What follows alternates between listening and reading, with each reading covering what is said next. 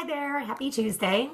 Um, today we're going to talk about um, breaking unhealthy, unhealthy habits, whatever that is for you, if it's around food or doom scrolling or, you know, whatever it is, we're talking about breaking those unhealthy habits.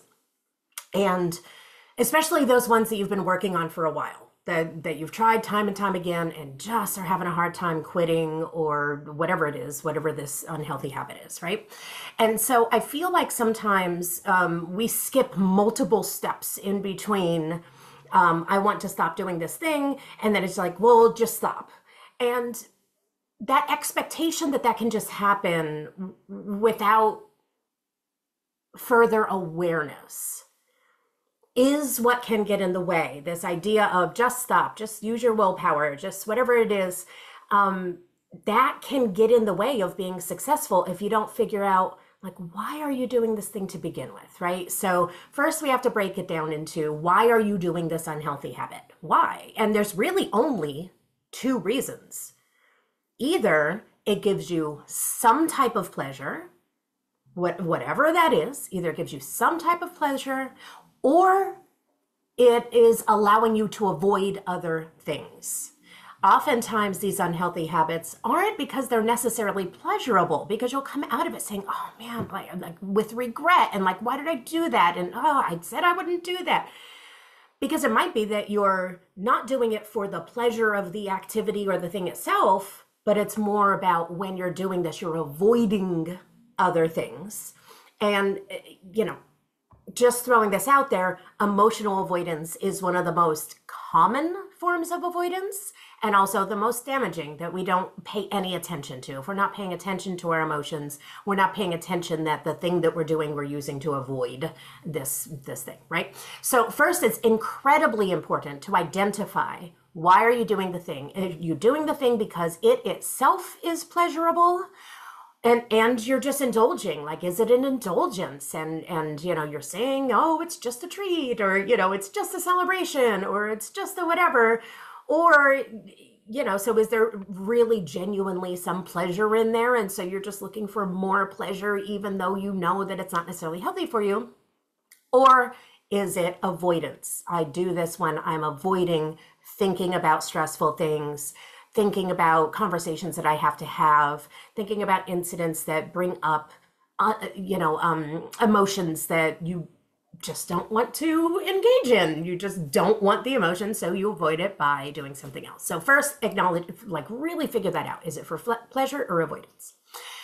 If it is for pleasure, we definitely want to take a look at what are like this is also a missing piece oftentimes when we're talking about this like this is going to sound pretty simple, and it kind of is, right? What are other things that give you more pleasure than the bad habit? And I guarantee you they're in there.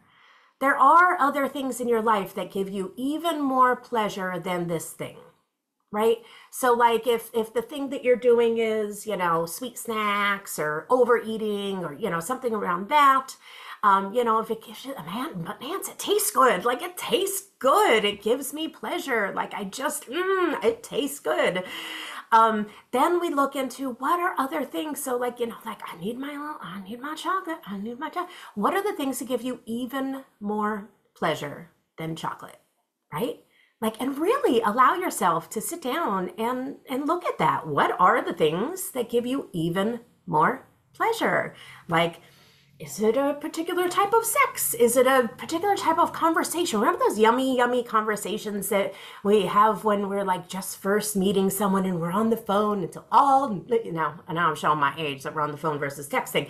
But still, I think that that's still a thing. Like those big, in depth conversations when we're getting to know someone um, explorations of any type? Are there any guilty pleasury type of learning or reading or, you know, like any anything outside? So the other thing that I'm getting to is you don't necessarily have to spend money in order to reward yourself, celebrate, or find pleasure. If that's a concern of, okay, Nance, but you know, chocolate's cheap. Like I could do that, but I can't be taking a vacation every time I want to celebrate something, or I can't. And that's okay. There are absolutely free things that feel better than even your guilty pleasures, than even chocolate, right? And so if what so these are the steps. Identify what the thing is that the bad habit that you want to break. Determine are you doing it for pleasure or for avoidance? If it's for pleasure, take some time with yourself at a time when you're not tempted, that you're not craving, at a time when you're very neutral, and figure out what do you enjoy even more than that thing? What are some some things that really are yummy and even more yummy than whatever your chocolate is? And if it's avoidance, then go back and, and watch some more of my videos, anything around emotions and stuff like that. And we can get into that as well of the importance of emotional um, awareness and presence and all of those things. But today we're talking about the pleasure part.